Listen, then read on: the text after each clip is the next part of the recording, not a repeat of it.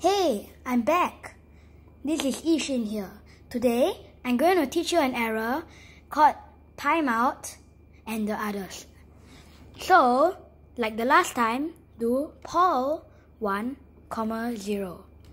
This time, you're going to do answer stack.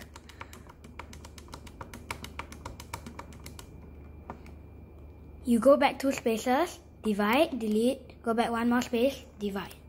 Equals, AC left. You go back, delete all the digits except the R. Press alpha key, this, go three brackets.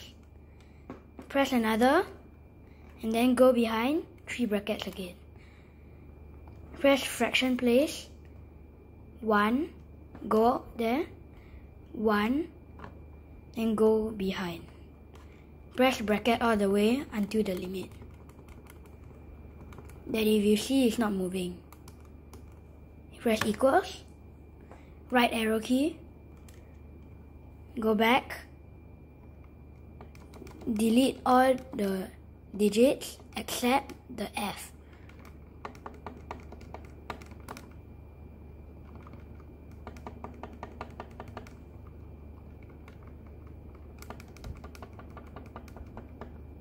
With this F, you can do lots of errors. With the F, minus 10, you'll get time out. F minus 11, variable error. F minus 12, this error. F minus 13 will get you no error. 14, you'll get this alien wording. Another, you also can do 3 divided by F. It will get you can't simplify. 10 divided by F insufficient memory. Goodbye.